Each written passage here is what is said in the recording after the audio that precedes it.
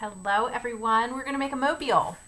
I've got two pieces of paper. They don't have to be different colors um, or this exact size, but I was trying to show that they're about four inches by about five and a half. That's what I'm using for my example, but yours can be any size. Uh, what you're going to do is put them together, fold them in half. I would recommend hamburger.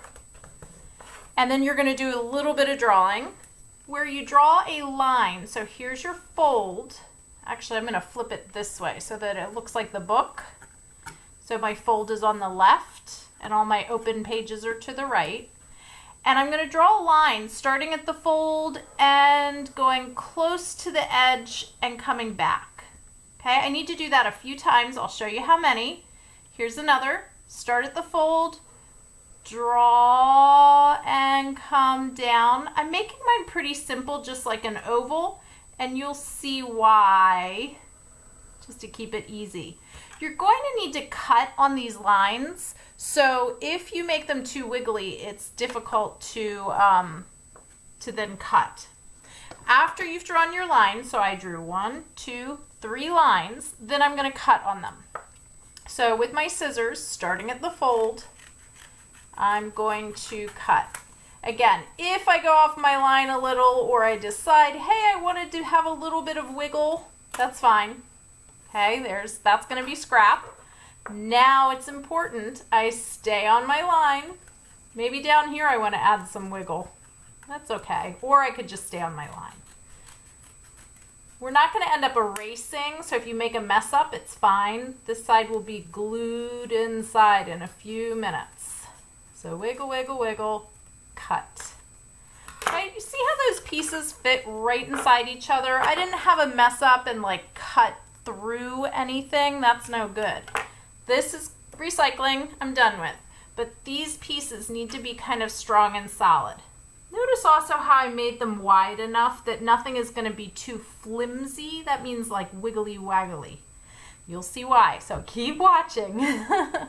Then what I'm going to do is each piece, I'm going to just open up. Oh, it looks like a mouth, like a big Frankenstein mouth, like from Halloween or something.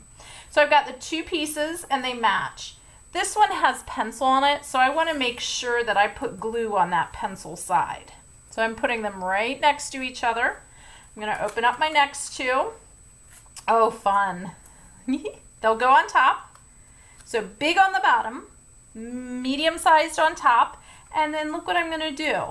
Small inside. If you realize, goodness, how did that fit? Was it that way or that way? It doesn't really matter, but they the sizes have to match. So this one, if I have the like wiggly part up, here the wiggly part should be up. Okay, so now I'm ready to start adding glue. I know I'm going fast, but this is a good reference for you for when you start working You'll get to see this live if you come to our specials time also, and we can answer any questions. Okay, I'm putting glue only on one color, one side. Okay, I put it around, not too much, it's kind of a dot dot, not a lot, but then I also made sure to really put it where the fold is, and look why. I've got some yarn coming, that's why. Okay, I'm going to take the yarn and I want to put the bottom at the bottom. Okay, this is where the end goes. And then I'm going to very carefully tap, tap, tap into the center fold. Very important that that fold is going up and down so that you can put your yarn right in there. I'm going to cut my yarn so that it's a nice long piece. Look how long I made it.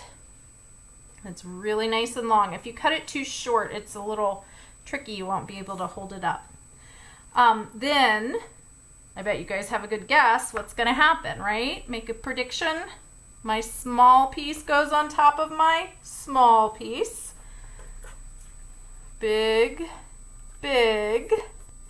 I got to give it a little bit of a press and then like this. Okay, and when I hold it up, which I don't recommend doing right away because this is wet glue. It might fall apart if I hold it up right now, but I made one just a little while ago today. Look at this one. So it was spinning around as I just moved it. I used thread because some of us don't have yarn at home. That's okay. I looked in my sewing bag and um, just used thread. Oh my goodness, my mobile. It's beautiful. I love it. It just ever so gently moves around. Now you can see there is a little bit of a difference.